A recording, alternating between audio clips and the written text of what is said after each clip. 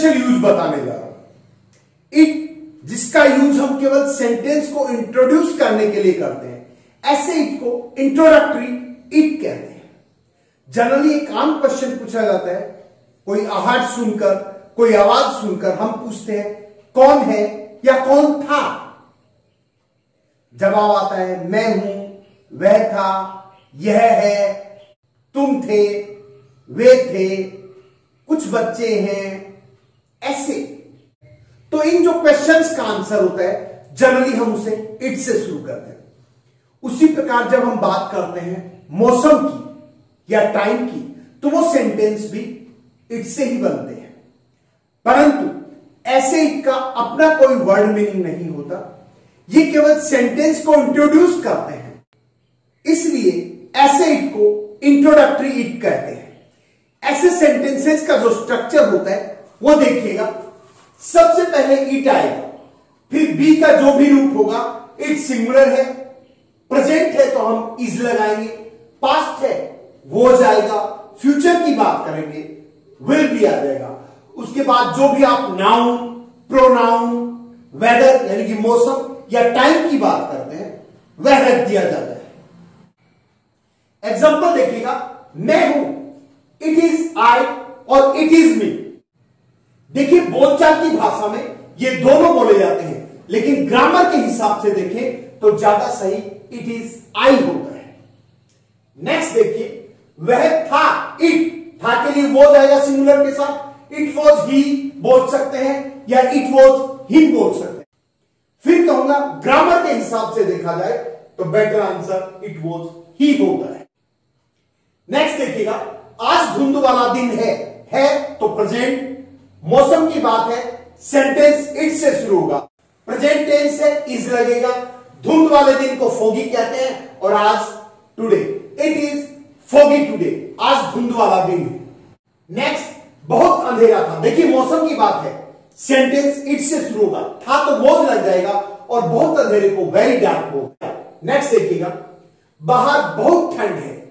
फिर मौसम की बात आ रही है। सेंटेंस इट से शुरू होगा, और है तो इज़ आ जाएगा। बहुत ठंड वेरी कोल्ड और बाहर outside it is very cold outside next देखिएगा। आज बहुत गर्मी है, फिर मौसम है। सेंटेंस इट से शुरू होगा। है तो इज़ लग जाएगा। बहुत गर्मी को बोलते हैं वेरी हॉट और आज है तो today it is very hot today next देखिएगा। आज चांदनी रात है। देखिए, मौसम की बात है। इट से शुरू होगा, है तो इज़ लग जाएगा। चांदनी रात को कहते हैं मूनलिट नाइट और आज है तो today it is moonlit night today next देखिएगा, कल अमावस्या की रात, अमावस्या की रात समय है टाइम है इट से शुरू होगा और थी तो वोज आ जाएगा. इट वोज और अमावस्या की रात को बोलते हैं नो मून नाइट क्योंकि उस दिन चाँद नहीं निकलता है. और कल को बोलते हैं yesterday it was no moon night yesterday next देखिएगा, आज पूर्णिमा की रात है। टाइम है इट से सेंटेंस बनेगा और है तो इज़ लग जाएगा। पूर्णिमा की रात, जिस दिन रात चाँद पूरा निकलता है तो फुल मून नाइट और आज today it is full moon night today next देखिएगा, ठीक सात बजे हैं। ठीक सात को बोलते हैं शार्प सेवन और है तो इज़ लगेगा it is sharp seven next लगभग पाँच बजे पाँच बजे को फाइव या फाइव ओ क्लॉक कह सकते हैं, और लगभग के लिए आता है about it is about five और फाइव ओ क्लॉक नेक्स्ट अभी दस नहीं बजे हैं। देखिए, अभी तक जो काम नहीं हुआ है, उसे लास्ट में यट करके दिखाते हैं टाइम के मामले में स्पेशली इट इज़ नॉट नहीं बजे, कितने? दस तो टेन और अभी तक नहीं है तो लास्ट में आ जाएगा yet it is not ten yet next साढ़े सात बजे, साढ़े सात, आधा घंटा, ऊपर निकल गया है सात बज के। और सात पाँच का टाइम हो गया तो इट इज़ हाफ़ आधे घंटा के लिए हम हाफ़ का यूज़ करते हैं। It is half past seven याद रखिएगा, जब भी किसी टाइम के ऊपर कुछ मिनट या कुछ समय निकल जाए, उसे पास से दिखाते हैं और कुछ समय बाकी हो तो उसे टू से दिखाते हैं। तो साढ़े सात बजे को हम बोलेंगे it is half past seven next देखिएगा, सवा पाँच बजे है। देखिए टाइम की बात है सेंटेंस इट से शुरू होगा और है प्रेजेंट है तो इज़ लगेगा। इट इज़ सवा पाँच या पौने पाँच की बात आती है तो पंद्रह मिनट की बात आती है।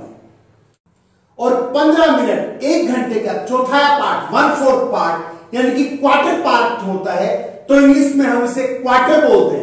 इट इज़ क्वार्टर अब देखिए, सवा पाँच में क्वार्टर है, वो पाँच बजे से ऊपर निकल गया, पंद्रह मिनट। तो क्वार्टर पास्ट फाइव बोलेंगे। It is quarter past five next देखिएगा। तब पौने सात बजे थे। देखिए, पौने सात में भी पंद्रह मिनट चलते हैं। क्वार्टर आवर होता है। तो क्वार्टर लेकिन पौने सात का मतलब सात बजे की तरफ़ घड़ी चल रही है। तो क्वार्टर टू सेवन करेंगे। देखिए तब पौने सात बजे थे। थे का मतलब पास्ट टेंस है तो इट वॉज़ आ जाएगा, और क्वार्टर टू सेवन और तब then it was quarter to seven then next देखिएगा, दस बजकर पाँच मिनट हुए हैं। पाँच मिनट हुए का मतलब पाँच मिनट दस बजे से ऊपर निकल गए हैं। है तो इट इज़ आ जाएगा। Five minute it is five minute past ten इसका मतलब दस बजे से ऊपर निकल गए दस बजे वो पास्ट की इवेंट है। दस बजे है, वो पास्ट का टाइम था और अब पाँच मिनट ऊपर निकल गए हैं। It is five minutes past ten next देखिएगा। पाँच बजने में दस मिनट थे। देखिए, दस मिनट थे तो इट वॉज़ टेन मिनट और बजने की तरफ़ घड़ी चल रही है पाँच बजे की तरफ़ तो टू लगा के फाइव करिए। It was ten minute to five next देखिएगा। पतझड़ की ऋतु थी, मौसम की बात है, थी तो past it was it was और पतझड़ की ऋतु को बोलते हैं autumn season it was autumn season next देखिए, कल सोमवार का दिन था टाइम की बात है इट वॉज़ पास्ट में है तो वॉज़ क्या था? मंडे कब यस्टरडे कल. इट वॉज़ मंडे यस्टरडे आप उसे ये भी कह सकते हैं यस्टरडे वॉज़ मंडे नेक्स्ट देखिए, आज बादल छाए हुए हैं। है तो इट इज़ बादल छाए होने को बोलते हैं क्लाउडी आज है today it is cloudy today आज बादल छाए हुए। नेक्स्ट देखिएगा, कल रात बहुत सर्दी थी। थी पास्ट की बात है। इट वॉज़ और बहुत सर्दी थी तो वेरी कोल्ड और कल रात है या पिछली रात है तो हम लास्ट नाइट यूज़ करेंगे। It was very cold last night next देखिएगा आज धुंध वाला दिन नहीं है। देखिए, है तो इट इज़ धुंध वाला दिन नहीं है नॉट फोगी और आज today it is not foggy today next देखिएगा, कल मौसम सुहावना नहीं था। देखिए, कल की बात चल रही है पास्ट टेंस है। देखिए, कल की बात चल रही है पास्ट टेंस है तो इट वॉज़ सुहावना नहीं होना नॉट प्लीजेंट और कल है तो yesterday it was not pleasant yesterday इसी को आप कह सकते हो, मौसम को वेदर कहते हैं। The weather was not pleasant yesterday मौसम को वेदर कहते हैं और खुश घुमाया सुहावना है तो pleasant the weather was not pleasant मौसम सुहावना नहीं था कल, यानी कि yesterday the weather was not pleasant yesterday next देखिएगा। कल बूंदाबांदी हो रही थी। देखिए एक्शन है, काम हो रहा था। देखिए, बूंदाबांदी हो रही थी, काम कंटिन्यू था पास्ट कंटिन्यूस आएगा। इट से सेंटेंस शुरू हुआ इट वॉज़ और बूंदाबांदी होना, फुहारे पड़ना ड्रीजर होता past continuous ING form drizzling it was drizzling और कल की बात चल रही है तो yesterday it was drizzling yesterday next देखिएगा। आज मूसलाधार वर्षा हो रही है। मूसलाधार या भारी वर्षा होने के लिए जनरली लोग रेन हैविली का यूज़ करते हैं। और रहा है रही है तो present continuous it is raining वर्षा हो रही है। मूसलाधार है तो या तो हैविली यूज़ कर सकते हैं आप। जनरली इसकी जगह कैट्स एंड डॉग्स का भी यूज़ करते हैं। जब हम कहते हैं रेन कैट्स एंड डॉग इसका मतलब होता है मूसलाधार, वर्षा होना।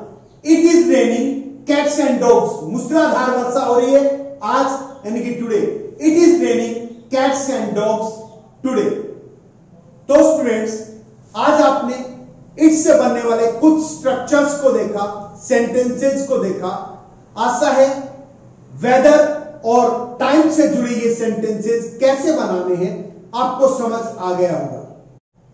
यदि घड़ी के द्वारा टाइम बताना हो तो घड़ी में क्या बजा है, इसके लिए इन द वॉच नहीं आएगा, बाय द वॉच आएगा यदि आप किसी से कहें, आपकी घड़ी में क्या बजा है, या आपकी घड़ी में क्या समय हुआ है तो आप बोलेंगे what is the time by your watch या ये बताएँगे कि मेरी घड़ी में पाँच बजे हैं। पाँच बजे है इसे आप बोलेंगे इट इज़ फाइव और मेरी घड़ी में है तो by my watch it is five by my watch तो स्टूडेंट्स इस वीडियो को आप बार बार देखें। और ज़्यादा सेंटेंसेस बनाने की ट्राई करें। मुझे आशा है बहुत जल्द आप टाइम और मौसम से जुड़े किसी भी सेंटेंस को इंग्लिश में बोल पाएँगे। यदि आपको वीडियो अच्छा लगा हो, इसे लाइक करें। अपने फ्रेंड्स के साथ शेयर करें, ताकि वो भी इसका बेनिफिट उठा सके। और यदि अभी तक आपने मेरे चैनल को सब्सक्राइब नहीं किया है please subscribe it your subscription support and love motivate me thank you